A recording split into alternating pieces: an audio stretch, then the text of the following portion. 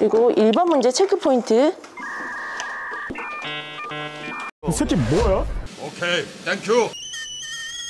네, 1번 문제 체크 포인트는 어, 수일치를 이뤄야 되는 お前はもう死んでいる。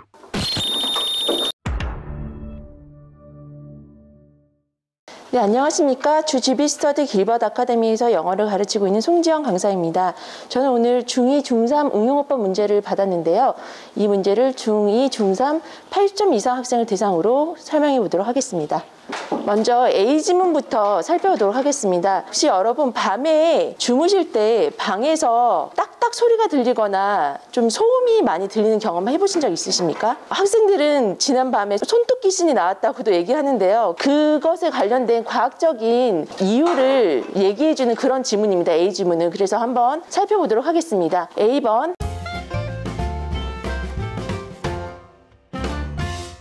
주제를 먼저 쓰도록 하겠습니다. A번 주제는 낮보다 밤에 소음이 더 크게 들리는 이유로 설정하도록 하겠습니다.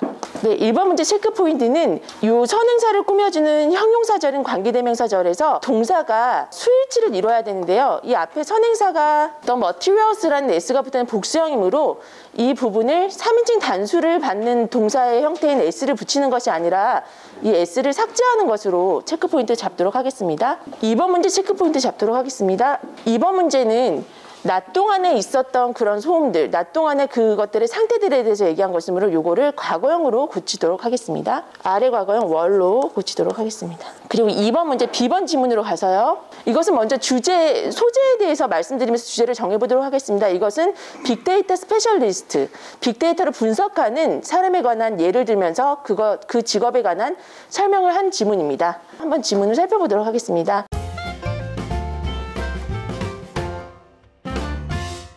어, 3번과 4번 체크 포인트 잡도록 하겠습니다. 먼저 3번 문제는 제가 살펴보았는데요. 여기 이 유즈 부분이 바뀌어야 될지 아니면 이걸 아예 삭제를 시켜야 될지 이게 어떤 지금 문법 포인트인지 제가 어색한 건 많이 느끼고 있는데요.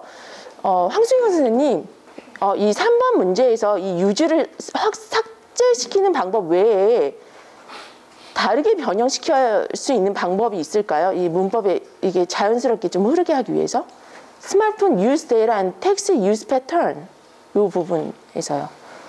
이 부분 문제가 없을까요?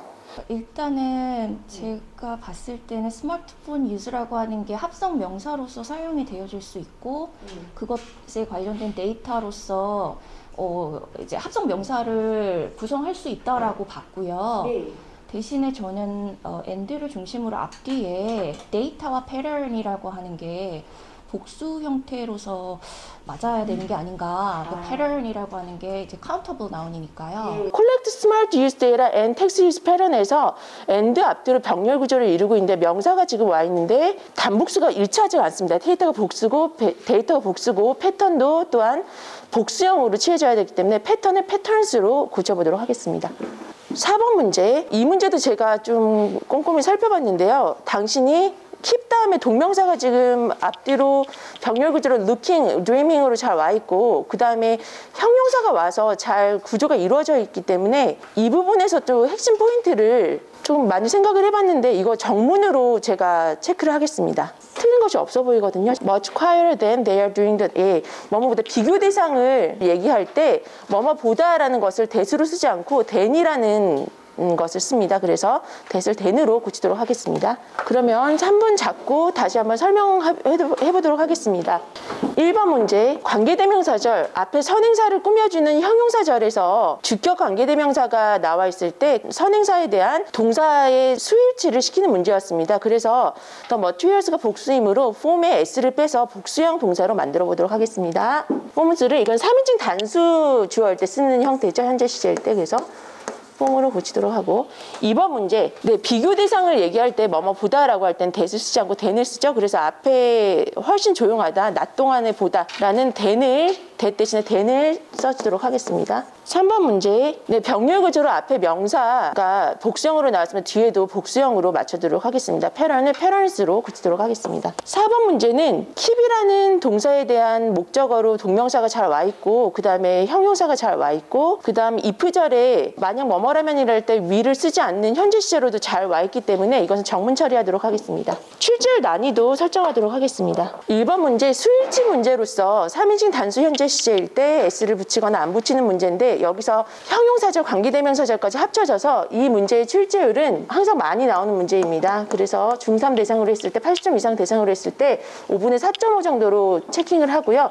난이도는 3 정도로 체크하도록 하겠습니다. 2번 문제 비교급 문제였는데요. 출제율 4 정도로 하고 난이도 좀 헷갈릴 수 있었는데 이것도 3 정도로 체킹하도록 하겠습니다. 병렬 구조에서 앞뒤 이제 형태가 같도록 만드는 문제였는데요.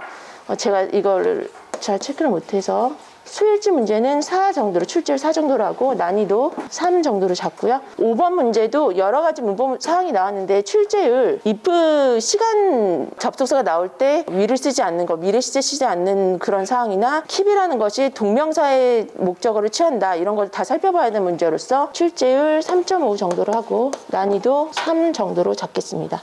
제가 준비한 강의는 여기까지입니다. 체크 포인트 부분에 좀 틀린 게 있긴 하지만 나머지 거는 동료 선생님 힌트 주셨을 때도 잘 캐치하셔서 설명해 주셨던 것 같아요. 한성화 이런 부분들도 다 괜찮고 실질과 난이도 면에서도 괜찮다고 생각하는데 마지막에 제- 아까 전에 부연 설명해 주셨을 때 특히 보기 2번 같은 경우는 이제 대과 대는이 왜 헷갈리는지 그 부분을 좀 설명을 해 주시는 게 선생님은 소댓으로 보신 건데 이제 소댓이 아니라 대신 비교급 구문으로 봐야 된다. 마치 화이어처리 있기 때문에 이제 그거 설명해 주셔 주시면 더 깔끔한 설명이 되지 않았을까 싶고 어, 마지막에 4번 정문 지문 같은 경우에 설명하셨을 때 아까 시간 접속사라고 하셨는데 이제 조건이잖아요. 그래서 그, 그 부분만 좀 수정해 주시면 좋을 것 같습니다. 네, 수고하셨습니다. 수고하셨습니다.